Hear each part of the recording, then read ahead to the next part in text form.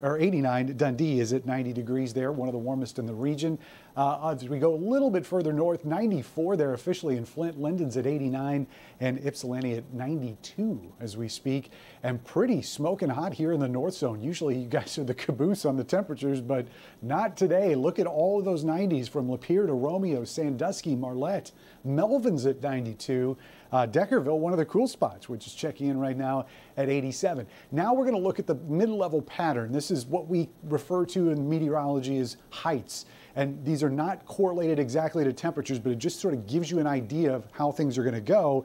And you can see that the pattern tries to relax a little bit as we go into the fourth and fifth. I don't think that we're going to see much of a change in temperatures over the weekend because as that humidity dries out, that allows temperatures to warm a little bit more than if we see higher humidity. However, fast forward to July 11th, that is next weekend, uh, we can finally start to see this pattern relent, and it may be enough to at least get us to the upper 80s for highs instead of the low and mid 90s. So some relief is better than none, I guess. Everything going up and over the state of Michigan. Couple thunderstorms you see up there in the UP. Tomorrow, we have a very slim shot. That wave is going to start moving further to the south.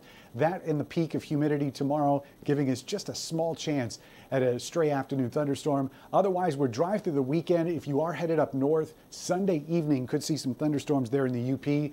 But our best chance of widespread wet weather is not coming until Wednesday of next week. And by that point, could be 10 days plus for a lot of us without a drop of rain. 70 tonight, mainly clear skies. And again, that humidity is relatively low. So there are going to be a lot of spots that drop into the 60s, especially in the west and north zone. 92 on the high side tomorrow.